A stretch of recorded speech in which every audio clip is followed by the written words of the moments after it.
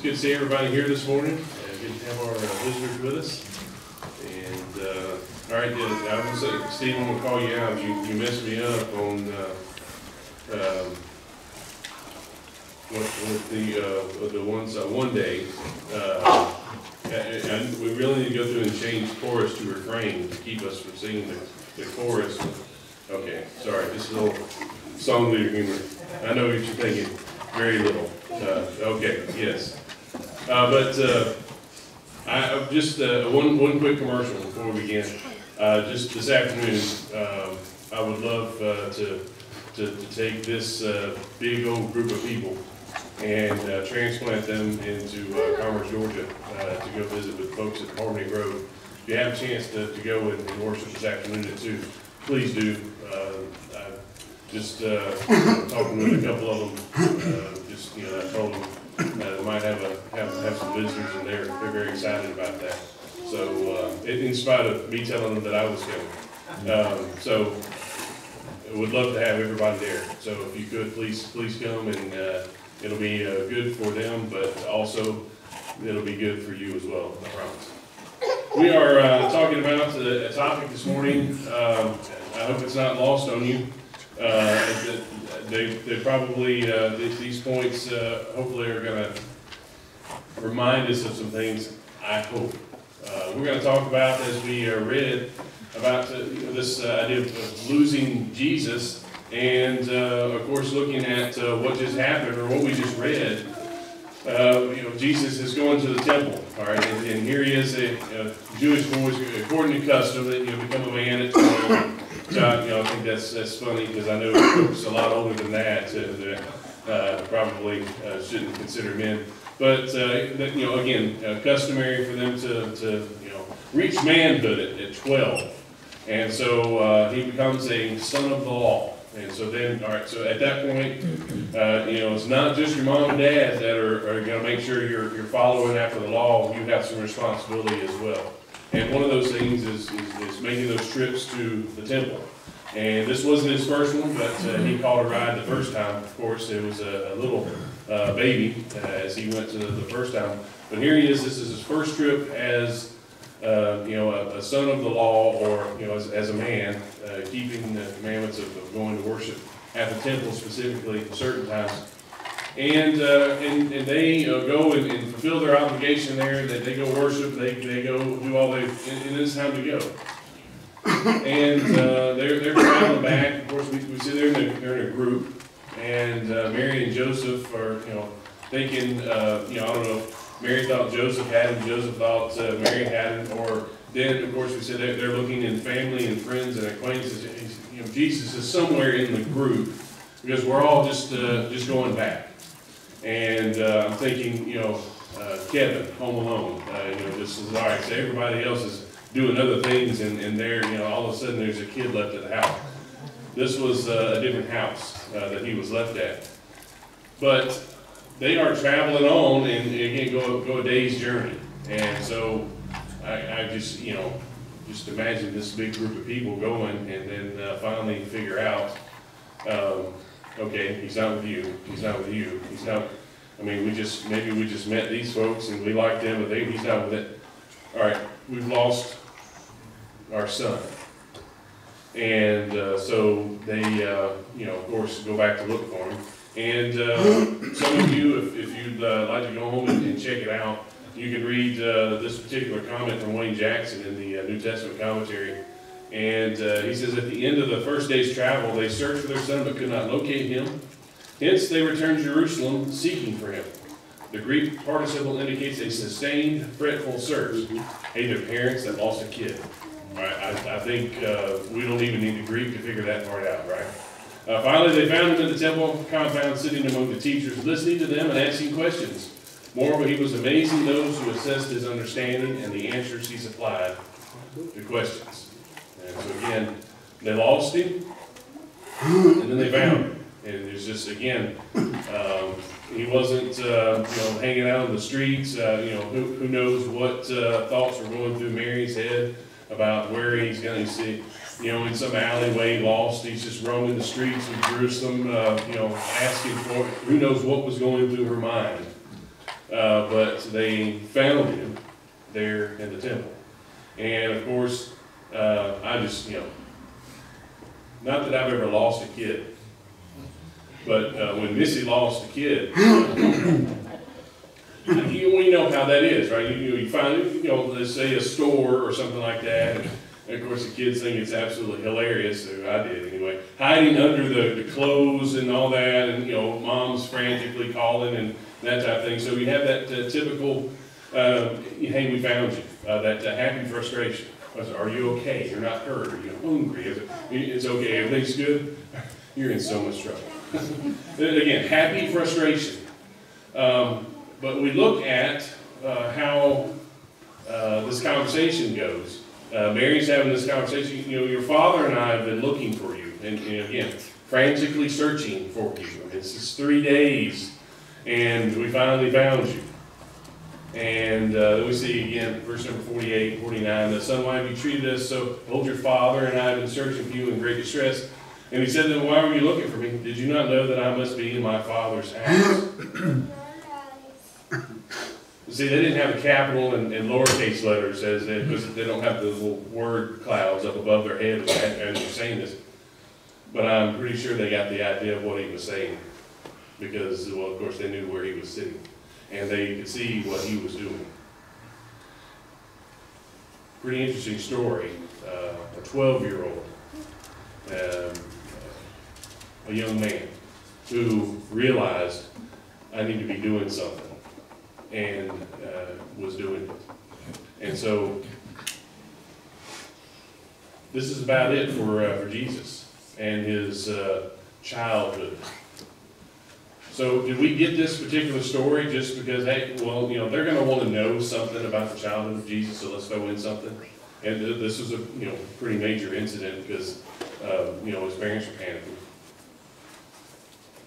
Or was this given to us for a particular reason, maybe a, uh, maybe a lesson that we can get? We'll, we'll say yes. It's a, it's a story, uh, we talked about this morning in class, um, a, a, a, uh, collection of facts. Uh, sometimes when we say story, that just, you know, means that, uh, something made up just for our entertainment. Well, this happened, but I think we can also learn from what happened here. And so this morning, uh, let's, let's look at an analogy here between this idea of what would happen then and what's happening uh, in the world, maybe happened to us in the past in a spiritual way. Because we look at uh, Mary and, and Joseph, and well, they started off the trip very well. They had their son with them. Uh, Jesus was with them. Uh, verse 41 and 42 again of uh, Luke chapter 2, his parents went to Jerusalem every year, the feast of the Passover. When he was 12 years old, they went up according to custom. They left the house with him. They made it all the way there. And uh, they, they made it to Jerusalem doing what they were going to do. And so, again, it, it started off very well. And the same way with us, um, coming out of the waters of baptism, we have Christ with us. And we have uh, Christ in salvation, and, and again, the creator of the entire universe, he- he's on our side. Uh, Second Peter three and verse nine, the Lord's not slow to fulfill his promise, as some count slowness, but is patient toward you, not wishing that any perish, all should repentance. He has patience with us, long suffering. Again, while we have time here on earth, whether it's our time or the entire universe's time, while we have that time, he is wanting us to live the way we're supposed to live. And he doesn't just, oh, you messed up, zap. He wants to give us time to repent. He wants to give us time to change. He wants to give us time to live the way he wants us to live. And he provides some help along with it. We see in Matthew chapter 11, uh, verse 28, Come to me, all you who labor and are heavy laden, I will give you rest. Take my yoke upon you, learn from me, for I am gentle and lowly in heart, and you will find rest for your souls. For my yoke is easy, and my burden is light. So we, we understand that, maybe, maybe all of us have uh, been farmers, or have, uh, you know, hitched up our oxen and, you know, and and tilled up the ground so that we can, can grow our vegetables. But I, I think we get the, you know, general concept, maybe we've seen pictures. For the longest time, again, probably when I was twelve, was supposed to be a man, I, you know, this idea of a yoke, uh, was, was, uh, weird, because what eggs have to do with, uh, with, with this idea of burdens. But that's actually spelled differently. But this idea of, uh, a yoke is, you, you put the, again, this, uh, you know, uh, this wood on the ox, you, you go sit there and you, it's your, your steering mechanism, so that you can, uh, get those rows in a, in a straight line. And Jesus is saying the world offers a yoke. It may feel like fun and excitement, it may be sold as something that everybody wants and everybody has. If you don't have it, you better get it. We know that also includes, uh, the add-on of sin. And this is a heavy, heavy burden. Uh, so heavy that you can't carry it into heaven. Jesus offers something else. We have Him in salvation, His yoke. Again, it's not throw off the yoke of the world and you're free to do whatever you want to because Jesus paid the price. It's throw off the yoke of the world and put on mine. Yes, I am going to, to guide you. I am going to help you steer the path so that you are on the right one. You can't go to the left or right if, if you'll just follow what I'm wanting you to do. And it's a choice we get to make. But this yoke is so light, we're able to carry it into heaven with us. We have Him with us. Ephesians 1 and verse 3, where all spiritual blessings are found in Christ. Freedom from sin, the hope of heaven, uh, a beautiful family that we get to be with, uh, an opportunity to worship Him and for hear Him to, to hear us as we talk. Again, the Creator of the entire universe, who has an open ear for His family. We have all of that and more in Christ. We can have Him here. Again, I mean, we think of, of heaven and, and we're going to be there with Him for, for all eternity. But he, he said we can, we can have that relationship with Him now as far as being uh, in that family of God with Him. Uh, Revelation 3 and verse 1, it, as uh, John's writing uh, what uh, the Lord wants him to, to the, the church there in Sardis. Uh, to the angel of the church in Sardis write the words of him who has the seven spirits of God and the seven stars. I know your works. You have the reputation of being alive, but you're dead. Wake up and strengthen what remains and is about to die. For I have not found your works complete in the sight of my God. Remember then what you have received and heard. Keep it and repent.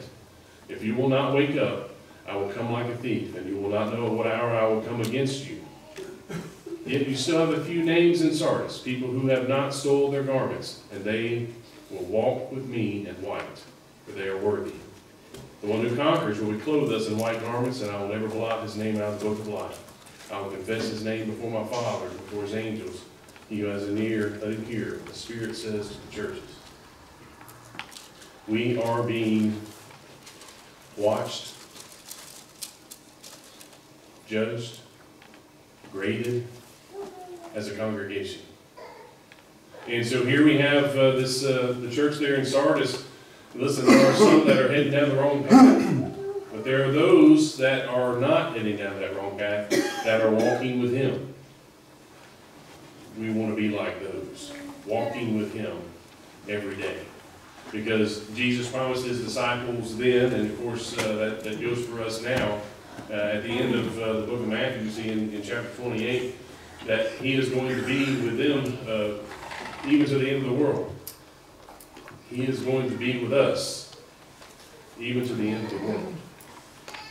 And again, whether that's the end of the world, an end of time, or the end of our time, we can have Christ even then.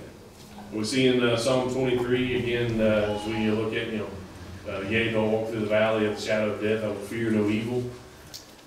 As we go through the shadow of death, again, whether that's uh, us and we see death around us, maybe death of our, our loved ones or our family or friends, and we see and we remember our time here is not going to go on forever. He can be with us to remind us we're going to live on and on. Or even if it is our particular time to go. As we are ending this life, He promises to be with us. And again, looking at that end of time, again, uh, Paul telling the church in uh, Thessalonica, uh, 1 Thessalonians 4, verse 15, For this we declare to you by a word from the Lord, that we who are alive and who are left at the coming of the Lord will not precede to those who have fallen asleep. For the Lord himself will descend from heaven with a cry of command, with the voice of an archangel, with the sound of the trumpet of God, and the dead in Christ will rise first. Then we who are alive, who are left, will be caught up together with them in the clouds to meet the Lord in the air. And so we will always be with the Lord. Therefore, encourage one another with these words. Encourage one another with when time runs out, whether we're alive or dead. Jesus is with us. He has promised we're going to be okay.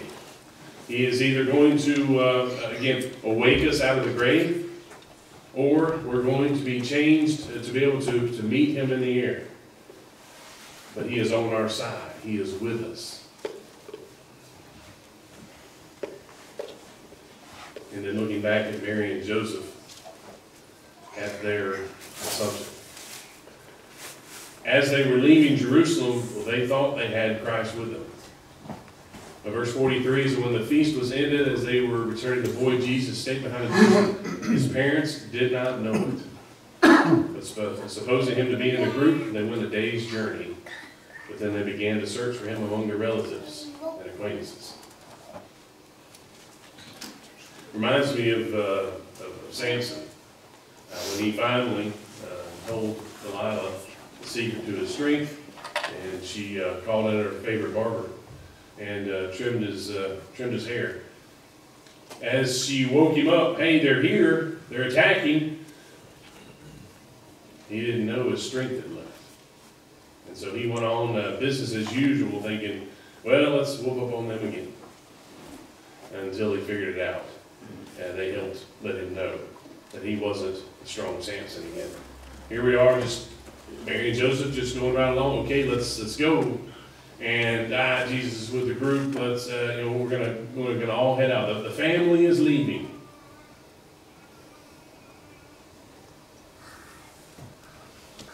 Just because they assumed he was there, just because they, they thought Jesus was in the group, of course, didn't mean that he was. They made a mistake. But we look at it, does that mean they didn't love Jesus because they, you know, assumed he was there with them? Or they, they didn't care for him anymore? Of course, we can see they, they do care for him, and they did care for him. They went back and looked for him. Uh, the story would have gone a whole lot differently if I said, well, he's not here. Let's keep going. Uh, Did, did it mean that they were uh, dishonest? Or they, they weren't sincere about being the parents of Jesus. And again, of course, just, just supposing something, or just thinking, or even, even uh, really, really, really meaningful thinking. I really want this to mean this. Doesn't make it right. And they went an entire day's journey away from Jerusalem until they realized we're missing something. We're missing someone. And Jesus isn't here with us. And so we look at uh, sometimes members of the church uh, have gone a, a day's journey without Jesus. Sometimes they've, uh, they've left the pathway laid out. They, they put down the yoke that uh, he was offering and took up the yoke of the world and didn't realize, uh, you know, what he's left us he's no longer with me. Some have uh, gone after the pleasures of the world. We see in uh, Mark chapter 4, we're looking at the parable of the soils, uh, uh verse number 7, uh, other seed fell among thorns, and the thorns grew up and choked it, and it yielded no grain. in verses 18 and 19, he goes on to explain what, what that means, you know, since this is a parable. Others are the ones sown among thorns. They are the ones who hear the word, but the cares of the world and the deceitfulness of the riches and the desires for other things enter in, choke the word, and it proves unfruitful. Other things come up and get in the way of heading in the right direction. Again, the world enters, and Jesus exits. 1 John 2 and verse 15, do not love the world or the things in the world. If anyone loves the world, the love of the Father is not in him. For all that's in the world, the desires of the flesh, the desires of the eyes, pride of life, is not from the Father, but it's from the world.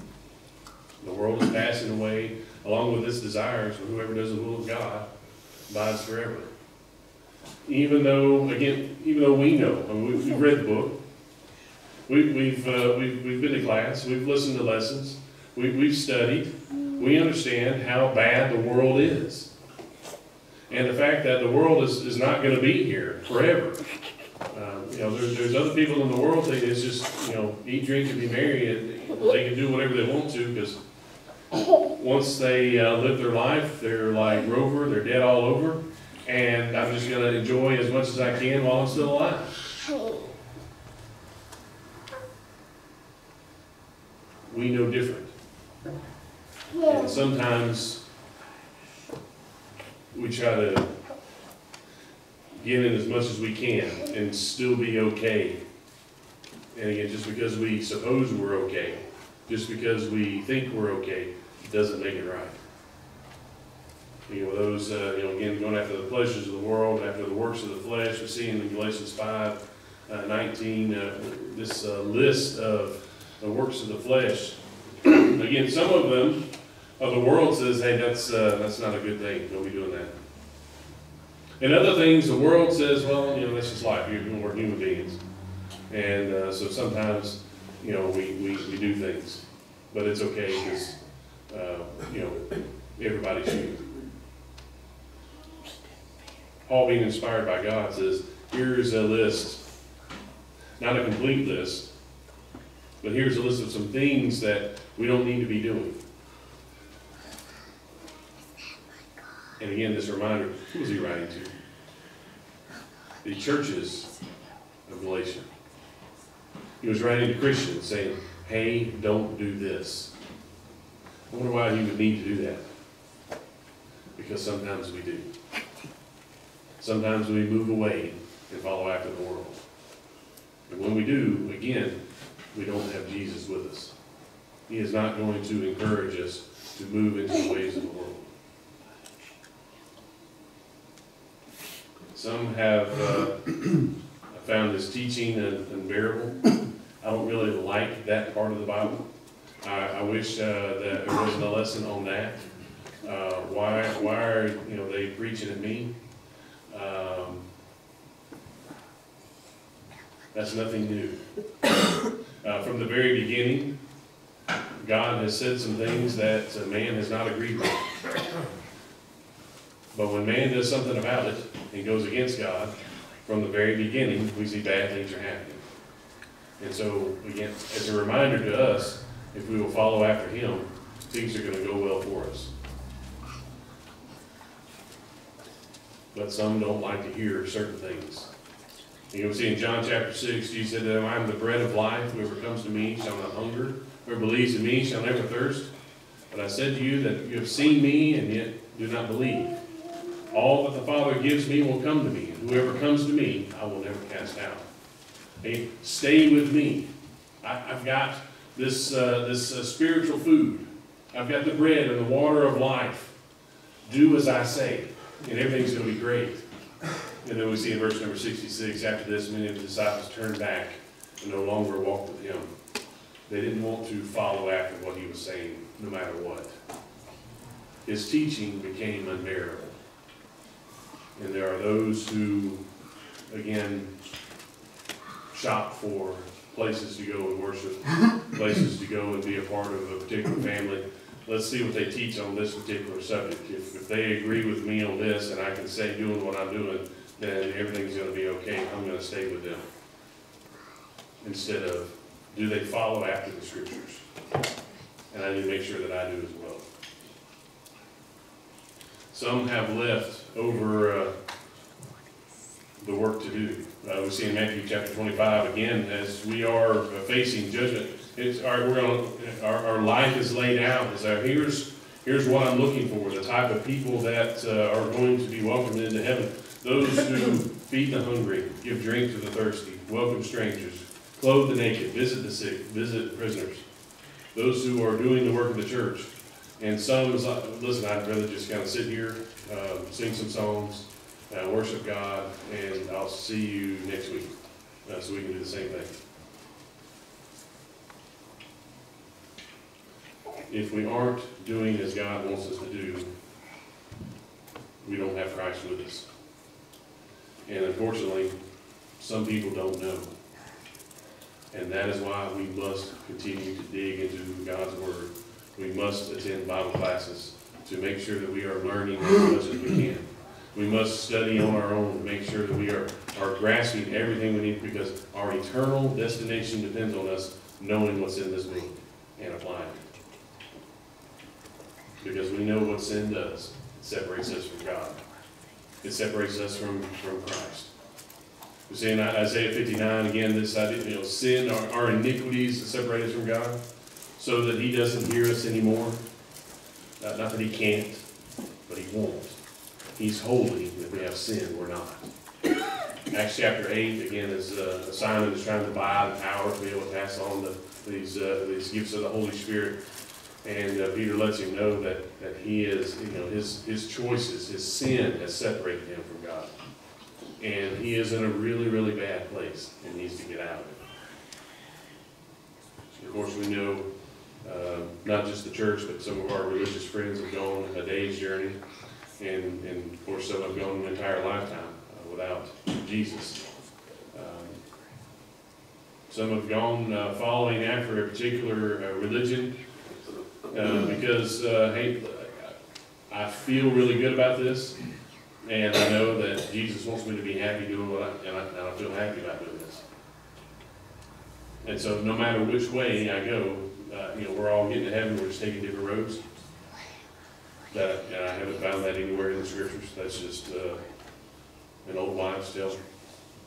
Again, if I can use something for class this morning. We see in Second John nine, though, uh, everyone who goes on ahead and does not abide in the teaching of Christ does not have God. We don't have Christ if we're not following after His way. I don't know if he could have said it any plainer. Whoever abides in the teaching has both the Father and the Son.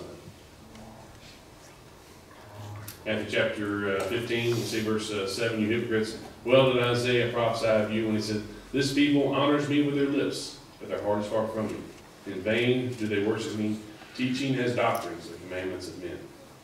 We can teach something, we can do something that looks very religious-y ish. And is completely and totally wrong. God's not going to congratulate us on how religious our services look. He is looking for people to worship Him in spirit and in truth. You see in Colossians 2 and verse 20, again, stay away from the things that the world is offering. We have one head of the church who has laid out exactly how worship is to go, the work is to go, Christians are to live. Are we following after that? If so, we have Christ. If we're following after somebody else who is offering us something that sounds good, but is in error, we got to remember that in error part. Some have taken, uh, you know, just a sit-down approach to it. And, You know, just someone sit back uh, and enjoy the uh, uh, the ride along through life because uh, Jesus has paid it all. He has done everything. I can't do anything for my salvation. I'm just going to sit back. I can do anything, uh, you know, live my life the way I want. I need to be, uh, you know, a, a, good person and all, but, but Jesus has taken care of all the admission fees to get into heaven. So I can't do anything. And yet we see in Acts chapter 2, verse 40, as uh, Peter is describing to these people that have just been convicted of uh, murdering the Son of God. Save yourselves from this crooked generation. It sure does sound like we have decisions to make and actions to take. We cannot be passive in our salvation, or else we're not going to have Christ with us. Romans chapter 6, Paul talked about it in the churches there in Rome that you know, we have a choice to make. We can follow after uh, the, these, uh, you know, the spiritual things. We can, we can uh, make ourselves slaves to God, or we can make ourselves slaves to the world. We're going to be one or the other. If we just choose ourselves and, and try to play Switzerland And, and I'm just gonna be neutral, I'm just gonna, I'm, I'm looking out for me, I'm just gonna, gonna kick back and relax. We have not chosen God, so we've lost Christ.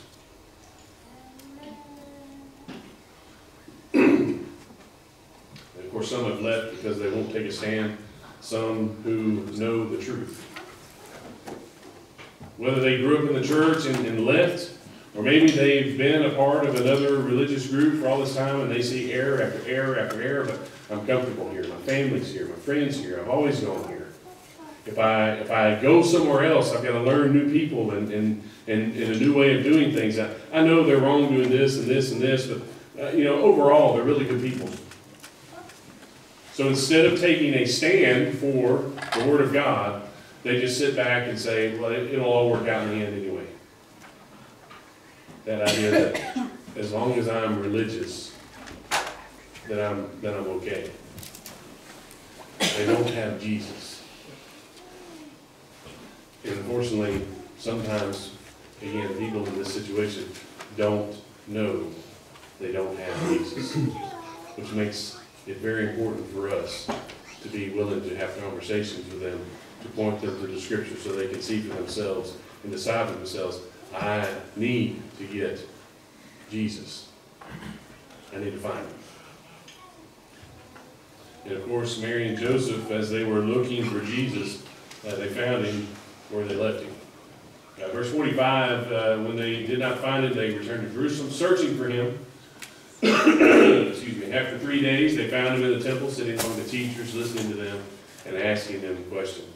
And so we look at, uh, we got the, the four words there on your sheet, uh, or a place for them. Uh, the first one, realization. They realized, hey, we don't have our son. Uh, they searched, uh, they, they, they looked where they thought he was supposed to be, and he wasn't there. They realized we don't have him. And so, of course, uh, that needs to happen in our lives as well. As we are searching and, and thinking, assuming, you know, we have Christ with us, if we read through the scriptures and figure out, hey, I, you know, we don't have him, we need to realize we don't have him. We don't need to go through life blindly. So that idea of constantly testing ourselves and uh, making sure that we are matching up with the scriptures is vital to us as Christians. Then they had resolution. We've lost Jesus. We're resolved to go find him. And they're good parents, right? Uh, that, you know, uh, losing children is, you know, uh, you know, leaving them off somewhere, you know, that, okay, we're not gonna, we're not gonna get the, uh, you know, mom of the year cup. I don't know if they had those back then, probably something similar. So we're not gonna get that if we don't find all right? So, we're gonna go find him, but they love Jesus. They wanted to go find him to make sure he was okay, and so they resolved, we're, we're going, no matter what. Uh, just because they were a day's journey, and again, it wasn't like, let's hop in the car and go back. Uh, whether it was a walk back, whether it was a, a ride back on their favorite camel, whatever it was, they were going back, and they were going to find Jesus.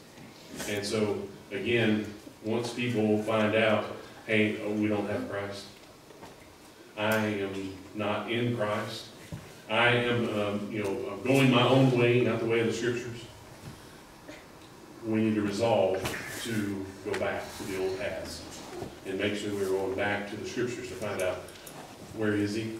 I need to find him. And be determined, just as Mary and Joseph were. Um, how long did they search? Three days. Uh, They didn't give up. All right, you know, we're going to find him. So, I mean, so they go a day's journey, and then they have to do a day's journey back. And then they spend that uh, day, you know, looking and looking, and, and, and so they go to, uh, to, to find that, they don't, you know, distance, time, that didn't matter, they were determined to go find him. And again, are we determined, no matter the effort, no matter what we have to change in our life, no matter who we have to move away from, no matter what we have to move away from, no matter what we have to change in our life, are we determined to make sure that we have Jesus in our life? And then they had, of course, that perseverance. They stayed with it again that three days, where they were searching and searching and, and, and making their way back to find him. And so, uh, we too need to have that perseverance to search for the truth until the truth is found. and then do something to find it. And again, for those searching for Christ, again, out all these other places, uh, just as Mary and Joseph did, of course, where, where do we have him last? Let's start there. Uh, they went back to Jerusalem to find Jesus. Well, just like uh, Mary and Joseph did, we also have to do the same thing. We have to go back to Jerusalem to find Jesus. And this may be a little small. Uh, there are a few charts here and there that you can find on the internet, or I can uh, share with you. But uh, there are a lot of places that people are looking that, well, didn't start out in Jerusalem like uh, the church did. Just like the church was prophesied it would start in Jerusalem. And there are um, all kind of religions. Maybe it was a particular person that wanted to start it. Maybe it was a particular theme that they were trying to follow. Maybe it was a, a group of people and they decided, hey, we're going to go ahead and start this religion. If the church we're part of did not start in Jerusalem, and we can't go back to Acts chapter 2, it's how we're going to be just like the church is supposed to be in the New Testament the one that started there in Jerusalem, just as God had prophesied it would, then we need to change. We find Jesus, uh, and then we also find the plan of salvation. Uh, again, as we see in Acts chapter 2, Peter talking to the people in, uh, in Jerusalem there about what they needed to do once they were convicted of, uh, of the sin of, of murdering the Son of God. And uh, then we find the, the church where we find Jesus. Uh, Paul describes it uh, as uh, the uh, household of God, the church of the living God, a pillar and buttress of the truth. We are finding Jesus, we are finding his church as well, because the church centers us in Christ. Because that is the one that he said he was going to build. Matthew chapter 16, verse 18. This was a promise he made and a promise he kept. And he built us. And we need to make sure we remember that uh, this idea of, oh yeah, he promised he was going to build his church, as if it was something that's uh, out there that uh, we can go see. Well, it is. We can look around the room here and see us. He was building us. We are the church of Christ the church that belongs to Christ. And so when we find Jesus, we also find his church. And of course, we know in Acts 2, verse 47, we're reminded this is where the saved are added. Uh, Paul told the church in Ephesus, we are reconciled to God in one body. We are brought together, we are, are brought to God, presented to God. One body, one group. It's the church. So if we are leaving out the church, we're leaving out Christ. And we need to make sure we are continually seeking God's righteousness, seeking His kingdom first, Matthew 6 33. That includes seeking out His bride when He built the church. If we are trying to make it into heaven without the church, and just trying to hold on to this idea of Christ, we're missing out. And we will miss out. We need Him. And He can be found here, studying together, growing together, working together, doing what He wants us to do together, part of the church. We need Him, and we can find Him. We need Him because He has the words of life. Just His disciples, don't are, are you gonna lean to, so where are we gonna go? You have the words of eternal life. We need his teaching, we need his example, so that we can go and live in heaven for all eternity. Of course, he's the one that can save us. And, uh, he is the one that laid down his life for us, so that we can be saved. He is the one that gives us eternal life. And when Christ, who is your life, appears, then you also will appear with him in glory. We are looking forward to that home in heaven. And again, it's in Christ we have that eternal life. So the question or a statement this morning, if you aren't in Christ now, you need to be looking. If you aren't in Christ now, are you looking? See, the, the good news is you're in the right place if you are, because have questions about the Bible, we have Bible answers. Not just, uh, here's what I think about it, here's, uh, you know, what I've always heard, uh, or, uh, here's what, uh, you know, we can scrounge around and find on the internet. Let's go to the scriptures and find out what the Bible says about salvation, about heaven, about the life of a Christian, about whatever it is that you're searching for. We'd be happy to help. If there's something that we can do to help you obey the gospel for the first time, learning who Jesus is and uh, what he's done for us, be willing to, uh, to believe in him as the Son of God, and because of that belief, change our life to, to match up his will, and then uh, enter into the, the the waters of baptism, have our sins washed away. We would love to help with that. If you have done that in the past and fallen away and need help coming back, need uh, the uh, prayers of the church, need encouragement to, uh, come back, to make the decision to, to live in Christ again, anything that you need, please let us know. We now stand and sing.